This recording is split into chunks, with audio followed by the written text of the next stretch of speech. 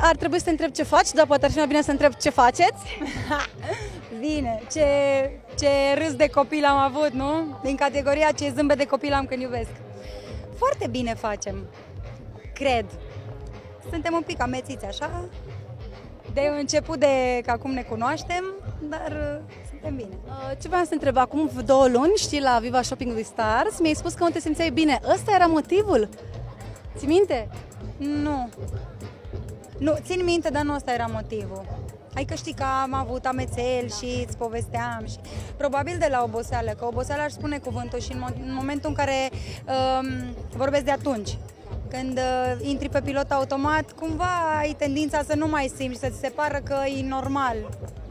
Când la un moment dat corpul zice stop, acum nu mai vreau să mai funcționez și atunci se întâmplă la fel, dar nu-i cazul, nu. Dar de când ai aflat că nu ești doar tu, că o să mai fie un suflet, ai început să lași mai moale, că noi știm că tu muncești foarte mult. Uh, Băi, așa s-au așezat lucrurile că nu am avut atât de mult de lucru. Știi să zici că... Dar oricum nu conștientizez. Adică îmi văd de concerte, îmi văd de, de studio. Adică, Ai emoții? Nu știu, nu-mi dau seama.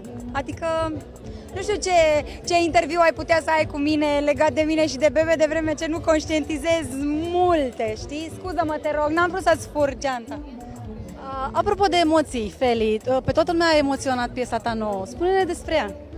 Păi ce să spun, este o două inimi, este o piesă sinceră, scrisă din tot sufletul meu și în care s-au, uh, s-au regăsit foarte mulți și bărbați, nu doar femei.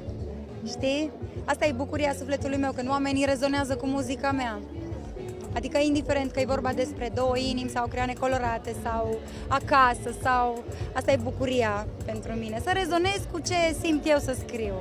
Știi că nu este petrecere viva adevărată dacă nu te întrebăm ce porți în seara asta, bineînțeles. În seara asta port o ținută marca Lulu, de la roche la sacou, nu și la sandale.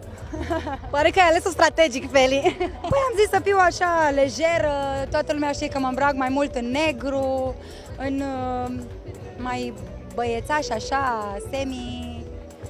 Dar uh, am zis să fiu, uh, păi la un așa eveniment să fiu fashion, nu? Uite, chiar asta aveam să fie ultima întrebare. Cum percepi tu petrecerea viva?